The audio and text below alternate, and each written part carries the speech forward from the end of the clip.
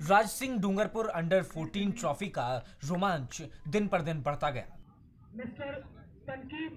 सभी टीमों के खिलाड़ियों ने ट्रॉफी कब्जाने के लिए जी जान लगा दी। ट्रॉफी के दौरान सभी खिलाड़ियों का उत्साह देखते ही बन रहा था। हर कोई खिलाड़ी जोश जुनून और जज्बे से अपनी प्रतिभा को निभाने में लगा था। लेकिन सोमवार को यूपीसीए की टीम ने डूंगरपुर कप पर अपना कब्जा कर लिया। मेरठ के भामाशाह पार्क के मैदान पर चल रही राज सिंह डूंगरपुर अंडर 14 ट्रॉफी के अंतर्गत खेले जा रहे यूपीसीए बनाम राजस्थान मैच के आखिरी दिन।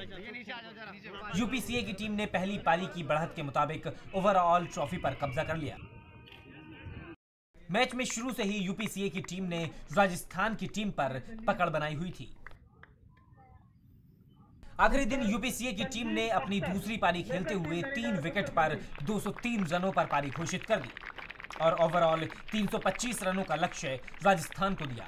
जवाब में लक्ष्य का पीछा करने उतरी राजस्थान की टीम ने दिन का खेल खत्म होने तक एक विकेट पर चौवन रन बनाए। और इसीलिए यूपीसीए की टीम को पहली पारी में बढ़त मिलने के आधार पर विजयी घोषित कर दिया गया।